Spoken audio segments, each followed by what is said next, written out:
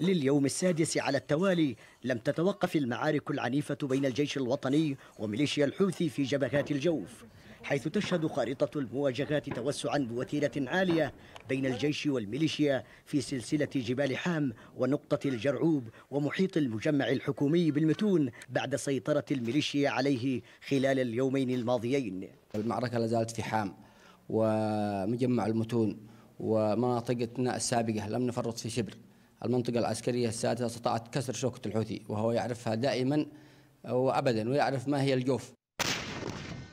تصاعدت حدة المعارك الدائرة بين الجيش والميليشيا بعد محاولة الأخيرة التقدم باتجاه مناطق سيطرة قوات الشرعية وسط خسائر كبيرة في صفوف الميليشيا وفقا لمصادر عسكرية أكدت سقوط عدد من القتلى والجرحى في صفوف الميليشيا كما جرى تدمير آليات عسكرية تابعة لها في مواقع متفرقة من مديرية المتون شمال غربي المحافظة.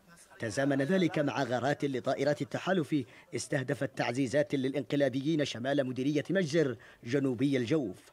بعد معارك عنيفة خاضتها قوات الجيش الوطني في محيط مدينة براقش التاريخية التي استعادها الجيش بعد سيطرة الميليشيا عليها فيما لا تزال المعارك مستمرة على امتداد المناطق المتاخمة بين محافظتي الجوف ومأرب.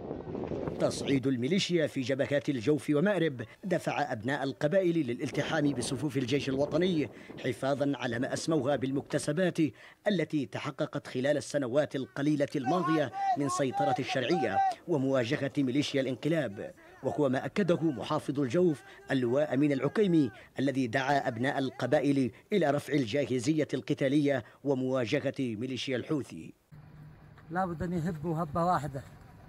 أدعوهم أن يدافعوا عن هذه المنجزات وعن هذه المدينة الطاهرة وعن أهلها وعن هذه المحافظة البطلة الصامدة ثم يدافعوا عن اليمن الحبيب. هكذا تسير العمليات العسكرية في الجوف وسط ترقب لما قد تحمله الساعات والأيام القادمة من تطورات على الصعيد العسكري في حين تشهد المحافظة عزلة حقيقية بعد أن أقدمت ميليشيا الحوثي على قطع خطوط الاتصالات والأنترنت وخروج شركتي سبأفون وموبايل الخاضعتين لسيطرة الميليشيا عن الخدمة في المناطق المحررة من الجوف. علي الجرادي قناة بلقيس الجوف.